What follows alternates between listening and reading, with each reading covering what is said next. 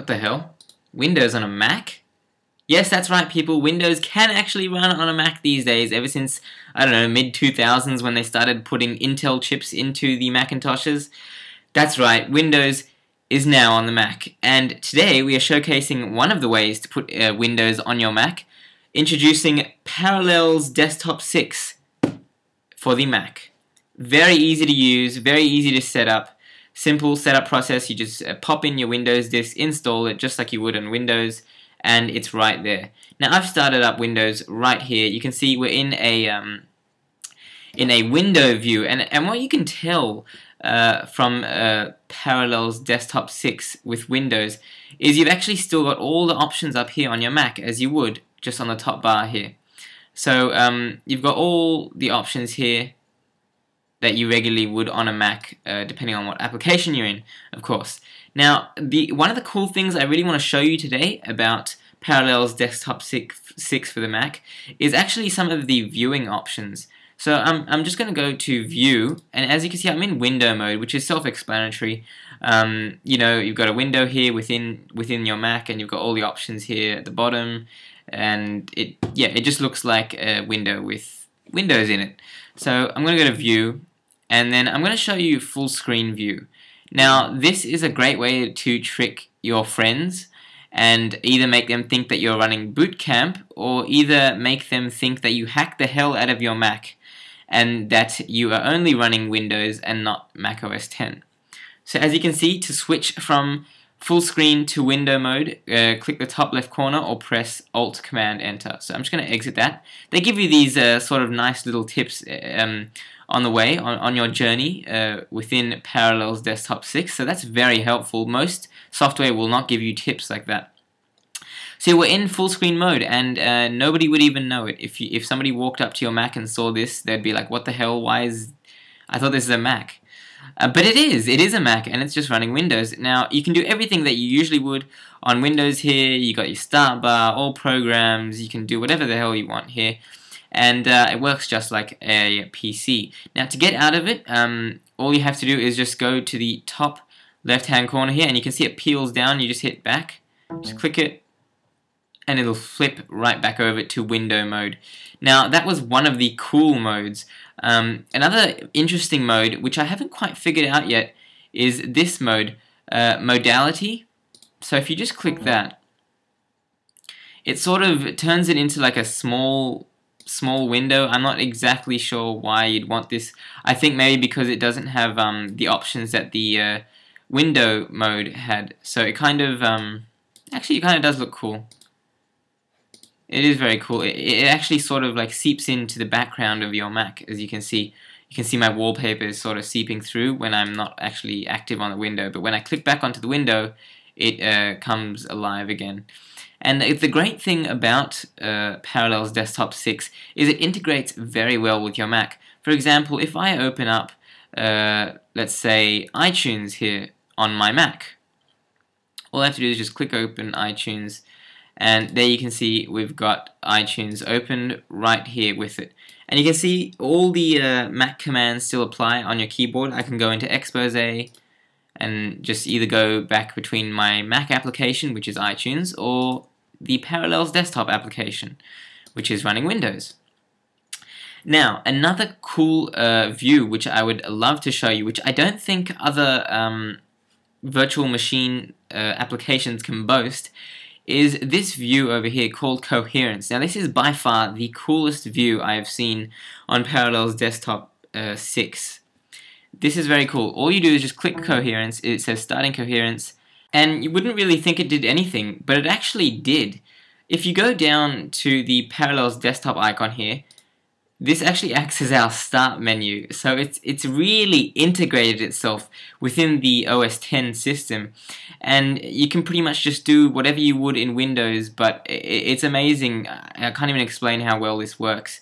You could open up, uh, for example, um, let's just say Internet Explorer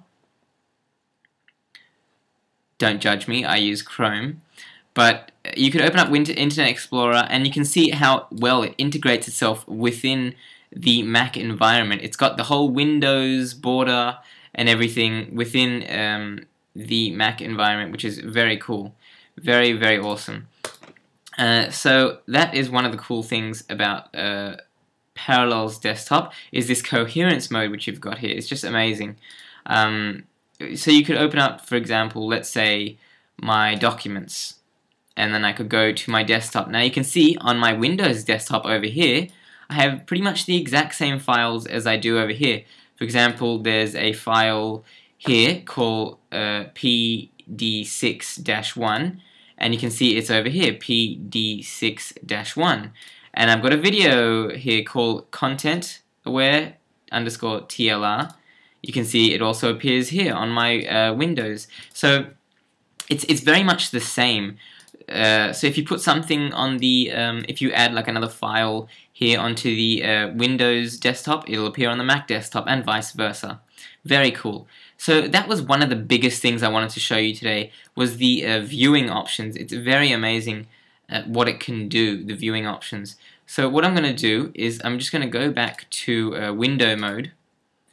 So if I just click back on here, oh, so you can actually up the top here, you've got your little um, icon here.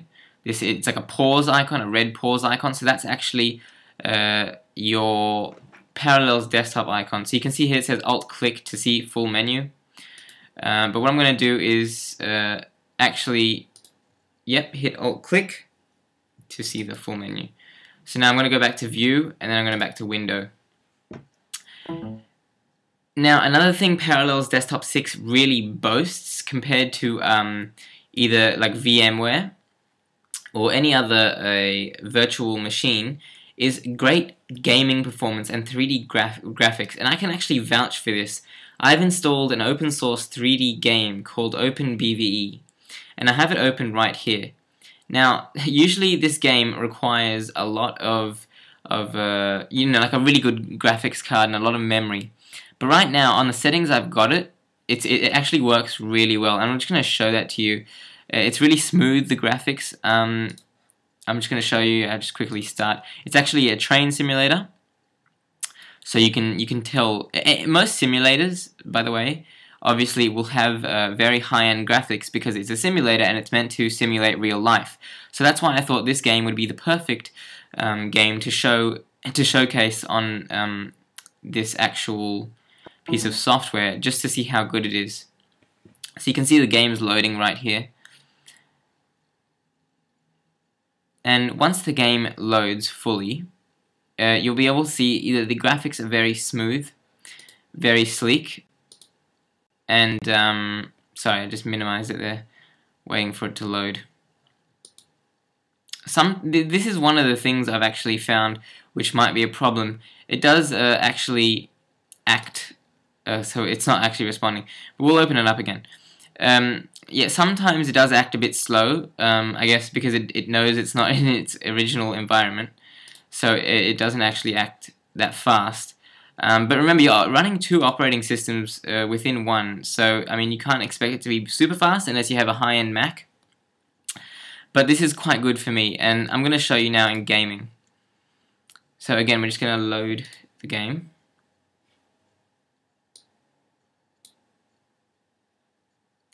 And also you can see the load times aren't that slow. I mean this is usually how long it would take to load on a regular PC.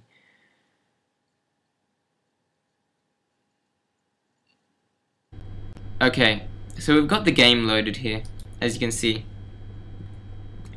And um, what I'm going to do is just turn up my sound so I can hear. And then I'm going to uh, just close the doors of the train Actually, before I do that, I'm going to hit uh, Control and Alt to release the mouse from the actual window so I can move it around here. And I can make it much bigger if I'd like to. And actually, what might be better is if I run this in full screen mode. So I'm going to release the mouse again, Control Alt, and then just hit View and full screen. So I'm going to run this in full screen mode. Okay, so this is much better. I'm in full screen mode right right now. And uh, I'm just going to close the doors of the train.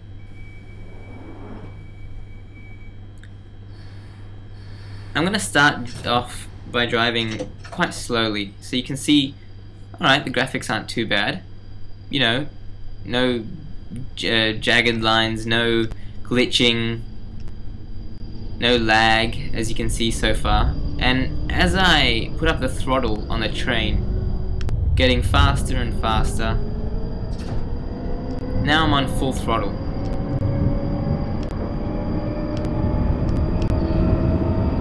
One thing I have noticed, if you have, is that there is sort of like a ticking sound on the graphics. As you can hear, every few seconds it just makes a little ticking sound.